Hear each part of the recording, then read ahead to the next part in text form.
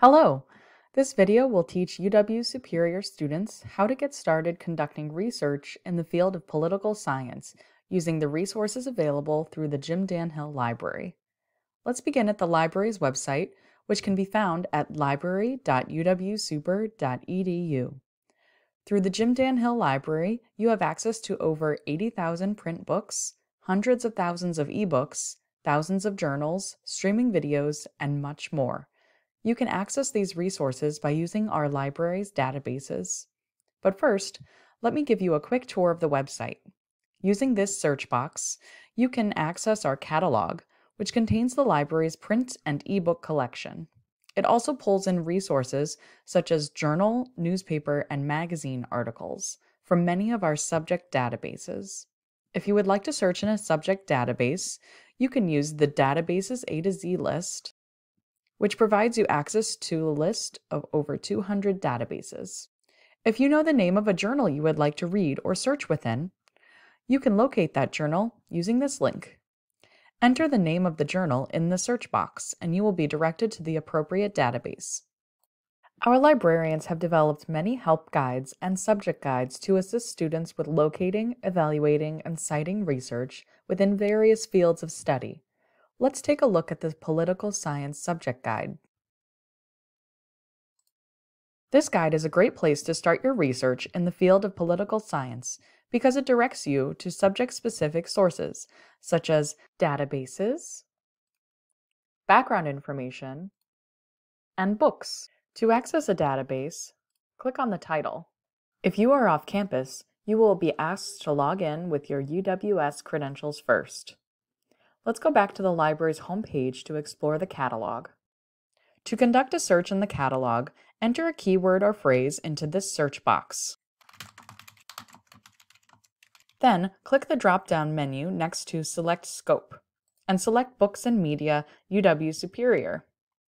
If you select Books and Media UW System, you can request print books to be shipped to our library from other libraries in the UW system for free. If you are an online student, you can follow this link to learn how to ship print books to your home from any library in the UW system. Finally, click the blue Search at UW button. Here on the results page, we can see that there are over 1,800 results. On the left-hand side, there are many ways to narrow our search using the provided filters. First, let's narrow to books only under resource type. If you'd like, you could narrow your search to ebooks by clicking Available Online or print books by clicking Held by Library. If you click on a title, you can learn more about this text and access this ebook. To view the ebook, look under View Online and click the available blue link. This will take you to another database that contains the ebook. To save this book, you can email this record to yourself or send yourself this permalink, which is a permanent link that will always get you back to this book record in the database. Pro tip, in any library database, never use the URL at the top of the page to get back to the resource later. It will not work. Always look for a permalink. Going back to our original results page for books, to access a print book in the library, like this one, you will need to take note of the book's call number, which is a list of letters and numbers that will tell you where to find the book in the library. If you need assistance locating a book, you can ask a staff member at the front desk for help. You can use the catalog to search for other resources than just books about your topic. And you can do this by selecting the scope of articles and more. However, to save you time sorting through many unrelated results, I recommend using the political science related databases outlined in the political science subject guide, such as JSTOR. To get to JSTOR, let's go back to the library's website. First, click on Databases A to Z, then click on J, and click on JSTOR. When you first enter JSTOR, you will see a search box where you can do a basic search for journal articles, books, and even images. As you type, you'll see the database offer to turn your keyword search into an author search, a title search, a publication search, or an image search. Select one of these options if you know exactly what resource you are looking for. For now, let's stick with a keyword search. Here on the results page, you can see that there are hundreds of thousands of results. The easiest way to narrow your results to a more relevant and manageable list is by using the filters on the left-hand side of the page. First, let's change our access type to Everything. This will allow us to request resources for free through interlibrary loan. Next, consider if you'd like to search for a topic more specific than your original.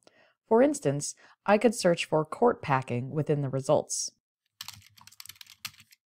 Notice how this greatly decreased our number of results.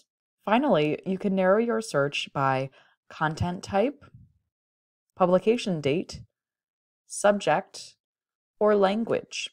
Looking at the results, you will see the title of the resource, the author, where the item was published, and samples of where your keywords appear in the resource. Click the title to view the item. On this page, you can read the abstract or summary of the article.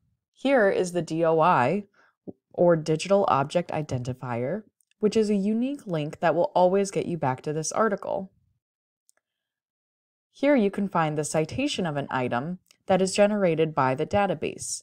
Be sure to double check this against the appropriate style guide.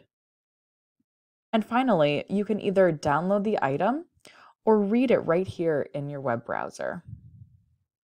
If you have any questions or if you need assistance with your research, please contact a librarian. We are available by appointment through the Ask a Librarian page and by email at askref at uwsuper.edu.